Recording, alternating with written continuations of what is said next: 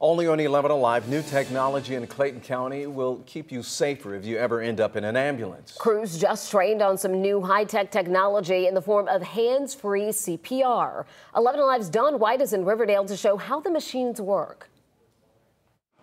And we're in. This is how EMTs in Clayton County do CPR now. 27, 28, 29, 30. One and two. With our rescuers, after about two minutes of compressions, it could start to wear on the body.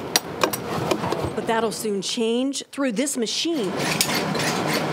This is the Stryker Lucas device. It is intended for cardiac arrest. One of the things that the Lucas device does is delivers clear, concise compressions, both in consistency, depth, and rate. The mechanical aspect actually attaches to the patient. This is going to be a game changer. It can help a patient's heart start beating again quicker with that consistency. Frees up hands as opposed to manual compressions. So every time we break and slow down, the actual compressions are slowered, which means the outcome for the patient is not favorable. All ambulances in Clayton County will have these Stryker or Lucas devices on them next week. The total cost is around $300,000, but those who work here say saving lives is priceless. All right.